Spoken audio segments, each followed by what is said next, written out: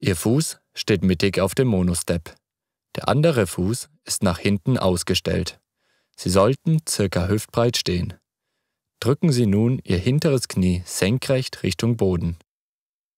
Achten Sie darauf, dass dabei das vordere Knie nicht über die Zehenspitzen geschoben wird. Sie sollten spüren, dass die gesamte Bein-, Gesäß- und Rumpfmuskulatur stark angesprochen wird.